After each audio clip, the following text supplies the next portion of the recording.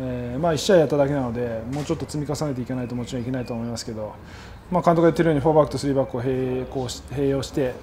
あのーうまく、ね、チームに浸透させられるようにしなければいけないですし、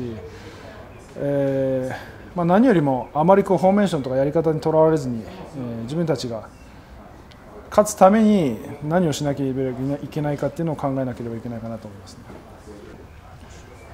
まあ、今まであまりこう自分たちの試合を振り返りながらこうここはこうするべきだったああするべきだったっていうこうディスカッションは多くなかったので、えーまあ、それを一緒に映像を見ながら選手と、えーテクニカルスタッフが話し合いながら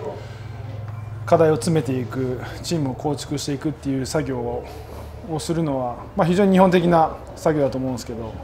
僕自身もあんまり、えー長く海外でやっててやってなかったことなので非常にプラスになるんじゃないかなと思うしこう新しい監督やり方になってどうなんだろうなこここはどうしたらいいんだろうなっていうところが明確になっているので非常にいいんじゃないかなと思いますし、まあ、その、えーミーティングだけじゃなくてピッチの中ではもちろん話してるしピッチ以外でも選手同士も話してるし監督とも話せるし、えー映像も常に見れるようになってるんであのすごくいい状況雰囲気だと思います。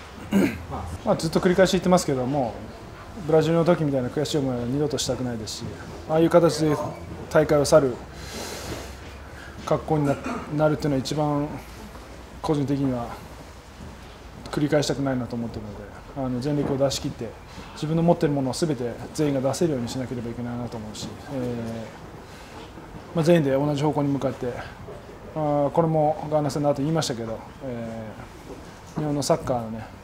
をの今後を左右する大きな時期にかかっていると思うので、えー僕たち今ここにいる23人プラス2人が、うん、その将来を担っているという覚悟を持って戦戦っていきたいなと思います。